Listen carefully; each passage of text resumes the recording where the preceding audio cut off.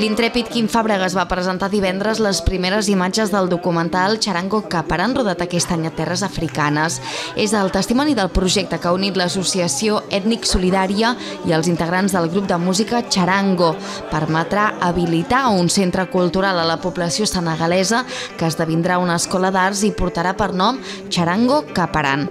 Una primícia que es va donar a conèixer en el marc d'un sopar solidari divendres passat a la cocteleria Sublim de Calilla, on s'hi van donar cita una trentena de persones, entre viatgers i coneguts del fotògraf local, ara immers en l'organització de viatges de descoberta. Estem preparant un documental, eh, realment jo crec que serà molt espectacular.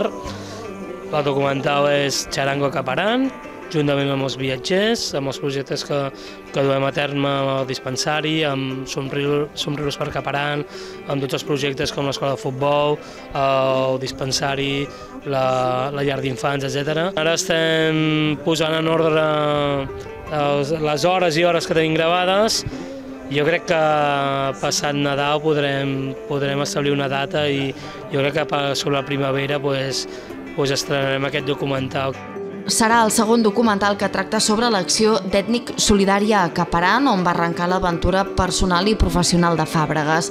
Charango el van descobrir a través d'un vídeo en què la seva música posava la banda sonora a unes imatges que ell mateix havia enregistrat.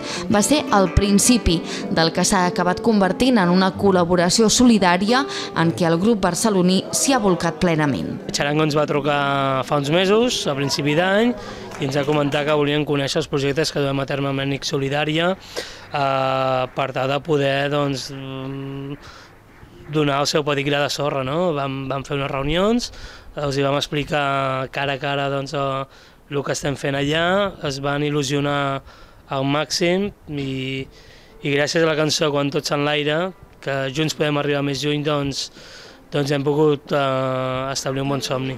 Un somni que va néixer a Caparan i que han descobert els viatgers de les més de 40 expedicions que s'han realitzat en els últims 5 anys.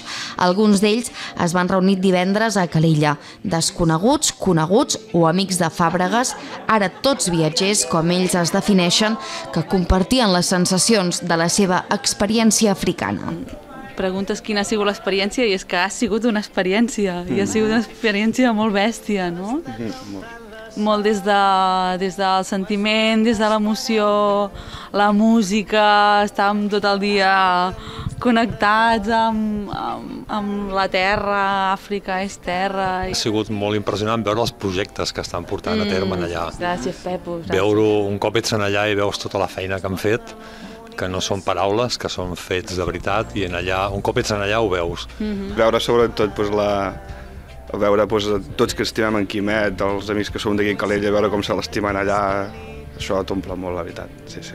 Després de 5 anys treballant a Caparan, contribuint a fer un món millor, Ètnic Solidària mira ara a d'altres indrets del planeta en una evolució lògica de la pròpia associació.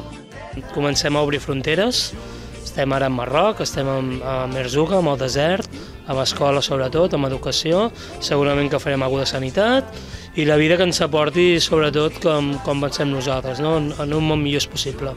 Ètnic Solidària proposa passar el cap d'any descobrint una de les zones més interessants del Marroc.